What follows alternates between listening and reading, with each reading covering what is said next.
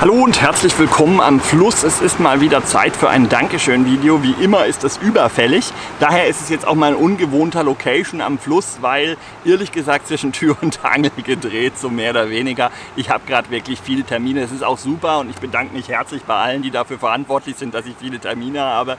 Das ist nämlich, äh, sind alles Waldführungen und so ein Zeug. Ne? Also für mich großartig, wirklich prima. Ich freue mich. Ähm, daher aber Videodreh halt da, wo es gerade geht. Und das wäre jetzt gerade aktuell der Fall.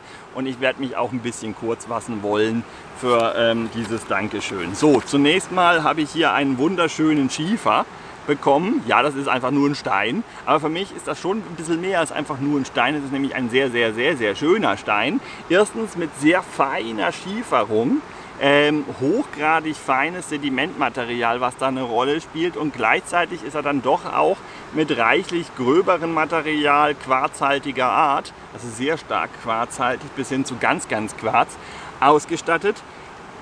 Jetzt wäre es natürlich interessant, wenn ich zu diesem Stein jede Menge interessante geologische Details und so weiter und so fort erzählen könnte. Ich habe das auch wirklich noch auf dem Plan, dass ich mich da mal intensiv mit beschäftige, wie man eigentlich aus einem Stück Stein bzw. einem Mineral, wenn man jetzt nicht direkt vor der Wand steht, woraus es stammt, ähm, irgendwelche Sachen ablesen kann.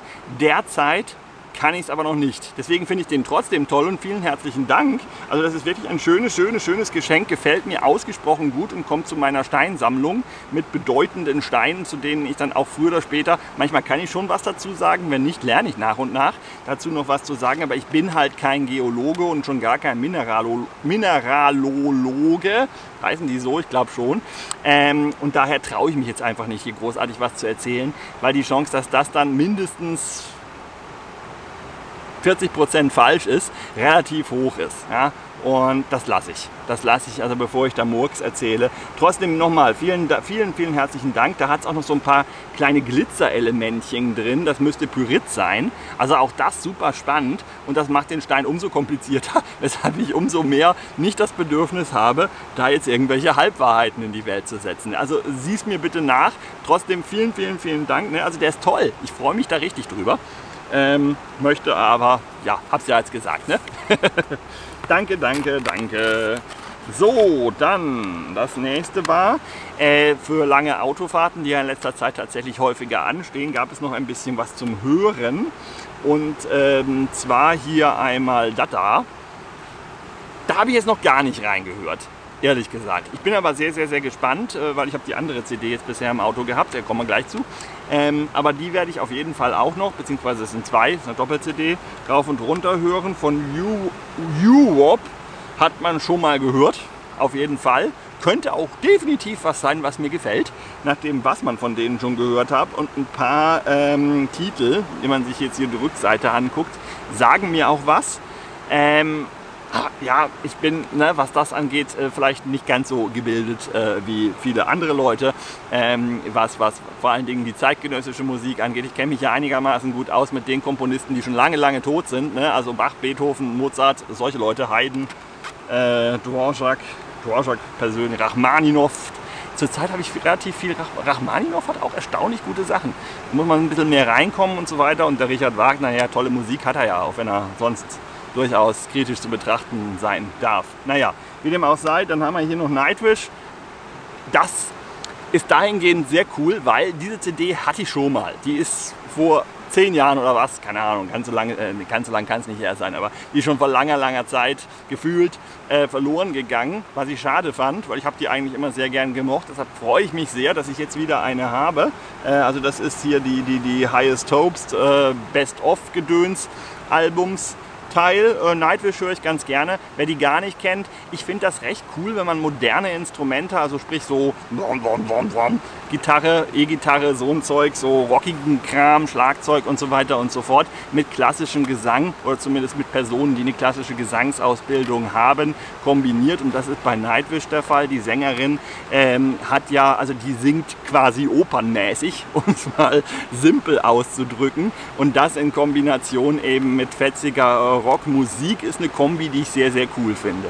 Ähm, ja, ich mag auch das Gegenteil. Also sprich klassische Musik mit Cello, Bratsche, Violine, such dir was aus und dazu dann eher ja, moderneren Gesang und eben nicht dieses ich kriege keinen einzigen Ton hin, sonst würde ich jetzt einen vormachen, aber es ist hoffnungslos. Und nicht eben dieses Opernhafte mit den, mit den äh, ja, wofür man jahrzehntelang üben muss, um bestimmte Kolorationen in der Stimme und ähnliche Sachen dann ähm, hinzubekommen, was ja auch unglaublich beeindruckend ist und toll klingt. Ja? Also ich mag das ja sehr, sehr, sehr. Und drum, das ist ja also wirklich eine coole Kombination aus eben etwas leichterer Musik, weil, weil so ein so ein Beethoven oder so ein Dvorak oder sowas in der Richtung. Ich tue mich nach wie vor schwer, das einfach mal so nebenbei zu hören. Das ist komplex. Da ist also so viel drin in den jeweiligen Stücken, jetzt nicht in jedem, aber in vielen. Äh, der Bach ist mir schon zu anstrengend. Ne? Der hat da ja so viel Zeug in seine Musik eingebaut, äh, vorsichtig ausgedrückt, ja, als, als, als Laie. Ich kann ja auch gar kein Instrument spielen und so weiter und so fort, aber die klassische Musik hat mir halt mein Vater eingetrichtert. Ähm, ich dachte immer, das interessiert mich nie. Tja, Fehlanzeige. Egal. Ähm, das ist so komplex, das ist mir fast schon zu anstrengend. Da, da, da, da, da kriegst du ja Schweißausbrüche beim Hören, wenn du versuchst, oh, da ist noch, oh, da ist noch, oh, da, da, da, da ist ja noch was. So in dem Stil. Ja, und, und, aber ich bin auch schon mit, mit ähm, einem Beethoven oder sowas anspruchstechnisch wirklich genug ausgelastet. Ähm, also zum Beispiel hier jetzt dieses berühmte Da, da, da, da. Ne? Das äh, kennt man. Und wenn das wirklich mit einem großen Orchester, also eine tolle Aufnahme davon, mit wirklich, wirklich großem Orchester, äh, das hörst du und dann stehst du senkrecht im Bett. Also das als, als, als Weckermusik beispielsweise. Einfach weil da eine ganz andere Dynamik, Energie und Tiefe drin steckt und insbesondere da diese Musik eben auch nicht, nicht mal eben hier aus dem stillen Kämmerlein erklingen kann, sondern du brauchst da ein richtig krasses Orchester zu. Und das macht dann halt, das ist halt schon nochmal. Ja, also, ja. Aber das kannst du nicht den ganzen Tag hören und schon gar nicht auf langen Autofahrten, dann, dann, dann bist du irgendwann fertig. Ja? Aber zwischendurch ist das super und, und, und äh, wenn man eben auch die Muße hat, sich das dann näher anzuhören. Und deswegen für Autofahrten sehr gerne sowas in dem Stil großartig. Ja, also vielen herzlichen Dank. Da äh, ja, freue ich mich schon fast auf die nächste lange Fahrt. Ähm, manchmal sind es Fahrten, wo Frau dann eher nicht dabei ist Frau und ich haben, was das angeht. Jetzt also Frau mag es nicht ganz so rockig, beziehungsweise wir haben dann einen Konflikt zur Lautstärke, in der das jetzt abzuspielen ist. weil für sie muss es dann ein bisschen leiser sein, für mich gerne ein bisschen lauter, allein schon, weil ich schlechter höre als sie. Sie hat noch hervorragende Ohren. Äh, das ist manchmal nicht ganz einfach, auch in der Kommunikation. Ne? Frau schreit was, sie selbst hätte es fünfmal verstanden, ich sage ja, habe mir ungefähr ausgedacht, was sie vielleicht gesagt haben könnte. Und mach das dann auch und dann war es aber falsch. aber daran müssen wir noch arbeiten. Wir haben ja noch ein paar Ehejahre vor uns. Äh, nicht, dass das jetzt wirklich größere Probleme sind. Ne? Also nur aus dem Nähkästchen geplaudert. Gut, ähm, also CDs ganz prima und dann gab es noch hier das Zeug. Ähm, Moment, ich habe auch noch einen mit Packung. Das sind die Seven Ocean Survival Riegel. Was ich richtig cool finde, die haben hier drauf äh, auf, dem, auf dem Päckchen, ne, ich packe gleich mal einen aus, ähm, haben die noch hier diese Survival-Anleitung. Und da geht man wohl davon aus, für diese Survival-Anleitung, dass man dieses Päckchen mit diesen Riegeln tatsächlich in einem Rettungsboot, einem Rettungsfloß oder sonst was auf hoher See gefunden hat und sich jetzt gerade eben ins Rettungsboot, Rettungsfloß äh, begeben hat. Und ich habe gedacht, das kann ja nicht stimmen. Das hatte mir mal nämlich neulich mal einer in die Kommentare geschrieben, aber hier steht es jetzt doch so drauf. Scheinbar ist es vorgesehen, auf diesen Rettungsinseln, Floßen und so weiter, nur 500 Milliliter Wasser pro Nase und Tag zu haben. Und hier stehen jetzt quasi genaue Dosieranleitungen, wie man jetzt mit äh, 18 Units hiervon über 24 Stunden kommt. Dann sollst du also genau alle not more than 6 units per 24 hours. Genau, damit eben das so alles funktioniert, wie das vorgesehen ist von dieser Rettungsinsel. Also am, äh, am Tag darfst du nur 6 sechs, Units. Ne? Moment. Das ist eine Unit. Nom, nom, nom. Esse ich nachher auf, sonst kann ich nicht quatschen. Hm? Davon darfst du am Tag hm, nicht mehr als sechs anscheinend essen, damit du hinkommst ähm, und auch wohl eben wirklich nur minimalst Wasser verbrauchen, damit das eben funktioniert. Ähm, die soll man auch nicht mit dem Drinking Water mixen und Safe drinking water. Do not drink more than half a liter every 24 Stunden. Ja, also wirklich nur einen halben Liter am Tag. Das ist krass. Ähm, das ist schon ziemlich krass. Ja. Schmecken noch so ähnlich wie die alten, alten Riegelteile auch. Man kennt die. Ähm, freue mich trotzdem, dass ich jetzt noch mal welche bekommen habe und vergleichsweise viele. Ne? Da habe ich richtig Vorrat. Das lässt sich auch ganz prima eben als Frühstück auch daheim. Ich mag die da ganz gerne. Mit Zucker, Zimt und Milch sind die richtig, also vor allen Dingen mit Zimt, ganz kleines bisschen Zucker noch zusätzlich und vor allen Dingen Milch. Dann sind die ein richtig, richtig leckeres Frühstück. Und ich werde die auch auf die nächsten Touren mitnehmen, insbesondere die Päckchen, die noch zu sind, also das hier. Äh, einfach damit ich dann da auch noch ein gescheites Frühstück habe oder wenn ich abends mal gar keine Lust mehr habe auf auf Kochen nach einem Führungswochenende zum Beispiel oder zwischen einem Führungswochenende. Ich mache ja immer Samstag, Sonntag Führung. Nach der Samstagführung ist man dann etwas K.O. Ich penne dann oft im Wald und dann habe ich hin und wieder nicht mehr groß Lust, dann noch großartig viel zu köcheln. Und da könnte dann sowas ehrlich gesagt ganz praktisch sein, insbesondere dann für das Frühstück am Sonntag.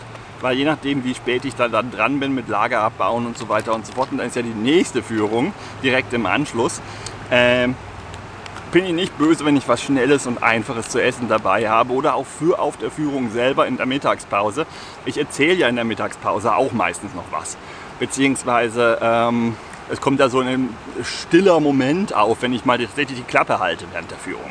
Ja, und das, das ist schlimm, schlimm, da kann ich nicht mitarbeiten. Daher esse ich meistens ziemlich schnell und auch nicht besonders viel und nutze dann eben die Mittagspause, um dann noch so ein paar Kleinigkeiten äh, zu erzählen oder auch ein paar größere Sachen. Bei der Kaltführung ist zum Beispiel der Geologieteil größtenteils in der Mittagspause. Ja? Also für die andere Mittagspause für mich Geologieteil halt. Da sitzt man sich besser so hin für so Geologie und solche Sachen. ähm, ja, genau. Also vielen Dank, die kann ich echt brauchen. Und auch es ist wirklich, sind auch Geschmacksrichtungen, die ich eben noch nicht kenne. Auch wenn die jetzt hier, diese Seven Ocean Teile, ähm, wirklich, ich merke fast nichts. Die schmecken fast identisch wie, wie, wie Energy 5. Ja, nahezu, nahezu, wobei ein bisschen süßer. Ein bisschen süßer, ich glaube, die haben etwas höheren Zuckeranteil. Ähm, kann ich kurz, wo steht's denn? Gibt es das irgendwo auf Deutsch? Hm. Ah ja, hier. Hm. Ein Riegel, 56 Gramm. Der hat 271 Kalorien, 14% Fett, 36% gesättigtes Fett, 13% Kohlenhydrate, das ist relativ wenig. Und ja, auch noch ein bisschen extra Zucker noch zusätzlich scheinbar. Added äh, Sugar, äh, ich werde da nicht ganz schlau draus. Aber 5 Gramm Proteine. Also, ja, nimmt sich jetzt nicht so viel. Und ja, die schmecken halt ziemlich sandburgmäßig, aber mit etwas Zimt und Milch. Mh. Aber sonst sind sie definitiv, ähm, nicht, dass das jetzt hm, für mich überhaupt kein Problem. Trotzdem vielen Dank. Aber die sind schon im unteren Bereich des Geschmacks von solchen solchen Notriegeln. Also definitiv ziemlich weit unten anzuordnen. Kann man trotzdem essen.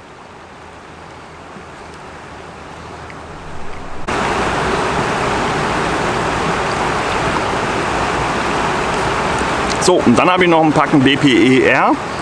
Also, ähm, ja, von GC Riba Compact. Das ist der gleiche Hersteller, der auch hier die Seven Ocean Dinger macht.